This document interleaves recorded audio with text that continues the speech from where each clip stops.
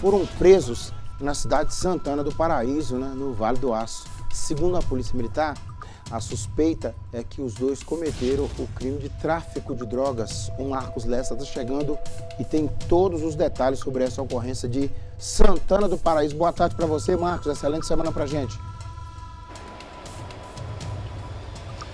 Olá, Nico. Boa tarde para você também, para todos que nos acompanham aqui no Balanço Geral.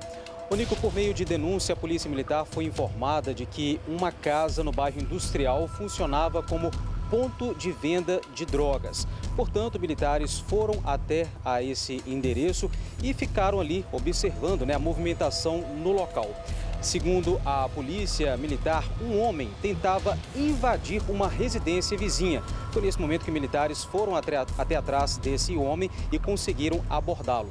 Durante buscas neste imóvel, a polícia militar encontrou mais de 30 30 porções de maconha e também na residência tinham ali quase 70 papelotes de cocaína, balanças de precisão, materiais utilizados para a venda de drogas e também cerca de 330 reais, dinheiro possivelmente utilizado para o tráfico de drogas. Além desse homem, né, que tinha que tem 21 anos, que foi abordado no momento em que a viatura chegou nesse imóvel que funciona como ponto de venda de drogas, a polícia também encontrou no local uma mulher de 20 anos. O casal foi preso e levado para a Delegacia Regional de Polícia Civil no centro de Patinga, juntamente com as drogas e os materiais apreendidos. Nico, eu volto com você.